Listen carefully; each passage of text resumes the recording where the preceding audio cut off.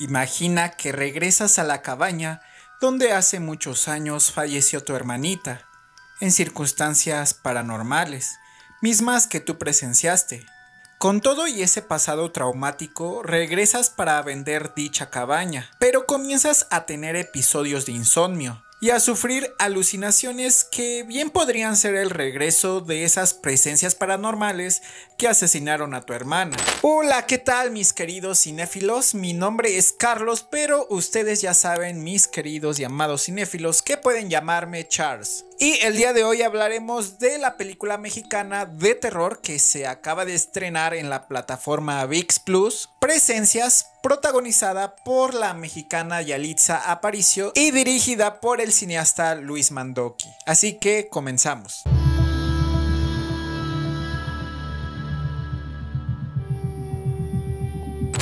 Lo primero que tienes que saber es que esta película tiene una duración exacta de dos horas y que por supuesto está dirigida por el cineasta Luis Mandoki. De hecho, Presencias es la primera película de Luis Mandoki después de 10 años de no dirigir ningún largometraje. De acuerdo con el cineasta, esta cinta fue un gran reto para él y en sus propias palabras, hacer terror me pareció mucho más difícil que hacer un drama. Mandoki fue el primer mexicano en filmar en Hollywood grandes producciones con muy destacadas estrellas de la meca del cine, y aún es recordado por los seguidores del presidente Andrés Manuel López Obrador por haberse atrevido a filmar dos documentales de él. Uno es un perfil del presidente de México y el otro es el registro del fraude electoral del 2006, lo que le hizo perder mucho trabajo pero le dio gran alegría por el amor a su país. Su anterior filme es La vida precoz y breve de Sabina Rivas, la cual rodó en 2012, pero desde ahí ya no hizo más. Se dedicó a dar clases para actores, actrices, guionistas y directores, basadas en un método actoral único,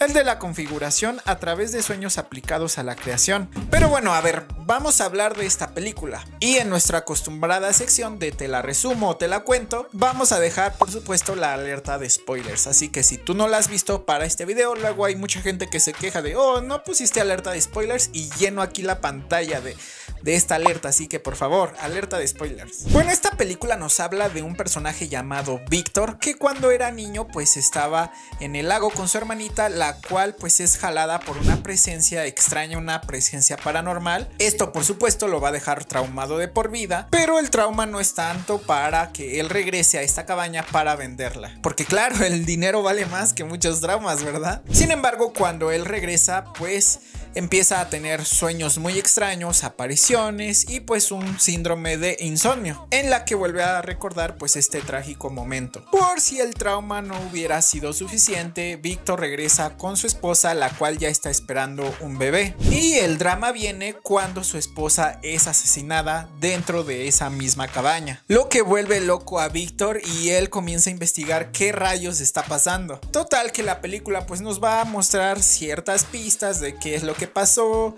quién pudo haber sido los asesinos, nos dan unos falsos pues sospechosos y Yalitza Aparicio tiene el pobre papel, la pobre participación de ser pues un personaje que pues eventualmente le va a ayudar a Víctor en su búsqueda de encontrar al culpable. Ella incluso aparece casi hasta la segunda mitad de la película, por lo que si tú estabas esperando que Yalitza Aparicio protagonizara esta película, pues siento decepcionarte. Pero bueno, lo más poderoso de esta película viene en su plot twist, así que si no quieres saber más, por favor pausa el video. Pero si eres un chismoso como yo, debo decirte que al final nos aplican la de los supercampeones, que despierta sin tener piernas y sabiendo que todo eso fue un sueño.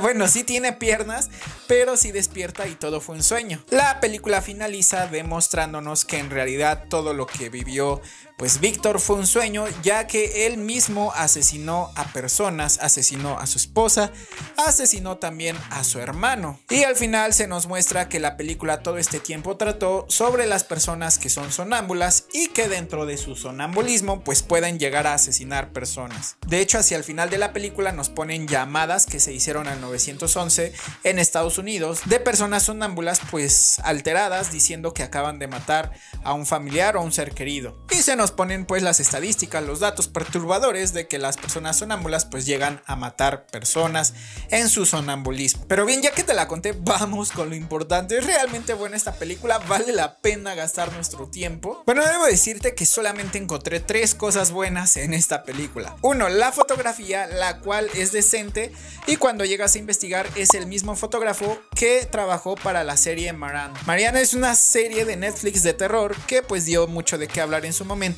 y sin duda pues se destacó por su propuesta y claro también por su fotografía. En segundo lugar pues debo destacar mucho la introducción de la cinta la cual pues me pareció muy buena porque es muy rápida y te muestra y te pone en clara las cosas. No hay confusión y todo es muy claro. Además que el montaje y los efectos especiales se sienten muy naturales. Y la tercera cosa buena es que tiene una idea muy pero muy atractiva. Esta idea de que hay muchas personas sonámbulas en el mundo que asesinan personas es una gran idea. Lamentablemente tiene una ejecución pésima. Vaya idea que dejaron escapar que se desaprovechó en esta cinta. Porque si debo decirlo que esta cinta mexicana es un total, pero un total desastre. Comenzando con su ritmo, el cual es muy, pero muy dispar. Su ritmo por momentos es acelerado, por momentos es lentísimo. Hay grandes periodos de la película en la que no sucede nada. En la que Víctor está investigando, va de un lado a otro, va a la comisaría para ver si está la policía, va a visitar a su hermano para ver cómo está, va a visitar el antiguo lago donde pues se murió su hermanita, pero es un excesivo tiempo, tanto que llegas a perder el interés, pero de una manera muy rápida. La verdad que se nota que la dirección es muy tropezada, porque la película se siente con un ritmo muy pero muy engorroso. Aquí es cuando vuelvo a recordar que a veces menos es más y en esta cinta claramente se puede aplicar para nada están justificadas esas dos horas de duración en las que si tú llegas a ver esta película sabes que puedes recortar un montón, pero un montón de paja que sobra en esta cinta. De hecho el plot twist es algo impresionante hacia el final porque realmente en la película no te dan ninguna pista de siquiera pues sugerirte que el personaje es sonámbulo. Y más que sentirse como un buen plot twist, se siente algo como una sorpresa desagradable, porque realmente se deja lo bueno hasta el final y nunca se llega a profundizar en esta idea de que los sonámbulos pues pueden llegar a asesinar a las personas. Me hubieran dado pistas, Luis Mandoki, dame pistas de que tu personaje es sonámbulo, de que me está sugiriendo que posiblemente él asesinó a las personas. Pero no, todo el 90% de la película nos están sugiriendo que se trata de presencias paranormales, cuando en realidad la película no es sobre eso. De hecho, el guion también está tan tropezado que serpentea a cada momento. Si en un principio tú creías que esta película pues trataba de Víctor investigando qué es lo que pasó con su hermanita y después nos presentan a una familia pues ahí misteriosa que se presenta y que nosotros no sabemos qué rayos está sucediendo. Y también luego viene el personaje de la policía, el jefe de la policía, el cual pues también es malo y pues llega a obstaculizar esta investigación. Y tú dices, ¿qué rayos está pasando en esta película? ¿De qué está tratando? ¿Cuál es el punto de la cinta? Llegas a serpentear tanto en esta cinta que pierdes totalmente el enfoque. Vaya, menos es más, vuelvo a repetir, menos es más. ¿Cuál es el enfoque de la película? No lo sé, porque al final, cuando termina la cinta, tienes un montón de ideas, un montón de parámetros y un montón de tramas. Y lo que más detesto en una película de terror es que se haga el uso del screamer de una forma grosera, grotesca en la que cada 5 minutos te están poniendo este maldito efecto. Aquí mismo en este canal hemos hablado de cómo a veces los screamers ejecutados de una buena forma pues pueden ayudar al desarrollo de la cinta, a sin duda generar esa tensión. Pero cuando los cineastas usan este elemento sin antes generar un ambiente de tensión, se siente que los screamers son groseros. Y todavía más cuando ponen un super ruido que en lugar de asustarte te molesta los oídos. Vaya, cómo detesto que los cineastas hagan eso. Y no sé de dónde Luis Mandoki aprendió esta técnica porque se ve que está tomando muchos convencionalismos del cine de terror de Estados Unidos. Ese cine de terror barato que no ama al género y que solamente pues pone estos screamers para espantar a la audiencia. Y a veces más que espantarla pues mm, incomodarla porque ciertamente es, no tienes este ambiente previo de atención y cuando te lo ponen así de repente hasta se siente más incómodo que terrorífico. Y no es una o dos o tres veces que te ponen este screamer, son demasiadas veces. También me di cuenta que quien produjo esta película es una productora que se llama Cher Constantine, la cual ha producido películas que de verdad son de bajísima calidad. Tan solo vean la lista de las películas que ella ha producido, son totalmente desconocidas, son películas underground, son películas que son horribles, que aquí en México se consideran como basura. Y ahí es cuando comienzas a entender por qué la calidad tan baja de esta película. Una película que sin duda está hecha por un cineasta, Luis Mandoki, que no es especialista en el género del terror, que apenas está incursionando en él y que para nada le interesa pues este género, porque sin duda se nota la falta de amor y la falta pues de visión de este género. Así que mi calificación para esta película